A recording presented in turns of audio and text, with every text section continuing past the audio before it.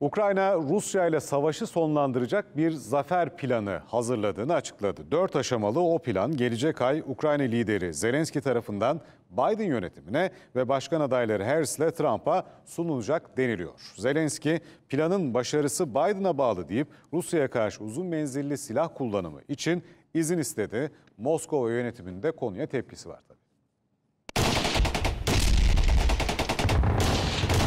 Ukrayna'nın Kursk işgali Zelenski'nin savaşı bitirme planının bir parçası mı? Ukrayna Cumhurbaşkanı tarih verdi. Eylül ayında zafer planını ABD Başkanı Joe Biden'la paylaşacak. Amaç Rusya'yı savaşı sonlandırmak zorunda bırakmak. Ama Zelenski'ye göre zafer planının başarısı Biden'ın tutumuna bağlı.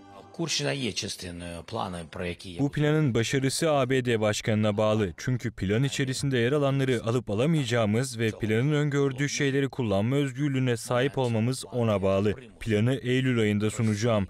Bunu Harris ve Trump'a da sunmak doğru olur. Zelenski planın dört aşamadan oluşacağını anlattı. İlk aşamanın hali hazırda Rusya'nın Kursk bölgesinde hayata geçirildiğine işaret etti. İddialı gelebilir ama bizim için önemli dedi, fazla detay vermedi. Ukrayna uzun süredir NATO'dan tedarik ettiği uzun menzilli silahların Rusya'ya karşı kullanımına getirilen kısıtlamaların kaldırılmasını istiyor. Fakat Amerika Birleşik Devletleri bunun geri dönüşü olmayan sonuçlara yol açmasından endişe duyuyor.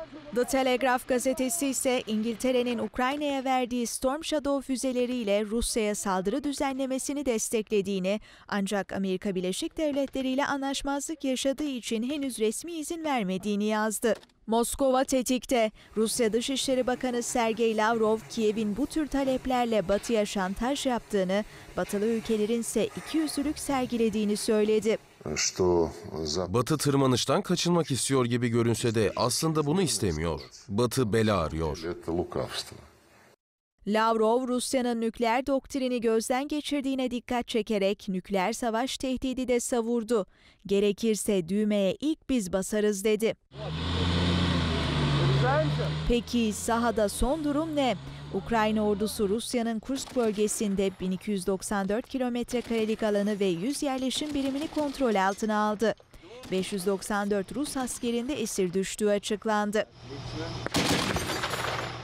Kursk işgalinin öncelikli amacı Ukrayna'nın doğusundaki Donetsk cephesinde Rusya'nın askeri baskısını azaltmaktı. Ancak Donetsk'te durum hala zorlu. Rus birlikleri Pokrovsk'u ele geçirmek istiyor. Ukrayna bir yandan da Rusya'nın yoğun hava saldırılarını etkisiz hale getirmeye çalışıyor. Rus füzelerinin düşürülmesinde F-16 savaş uçakları da kullanılmaya başlandı. Zelenski daha fazla uçağa ve pilotlar için eğitime ihtiyaç duyduklarını söyledi.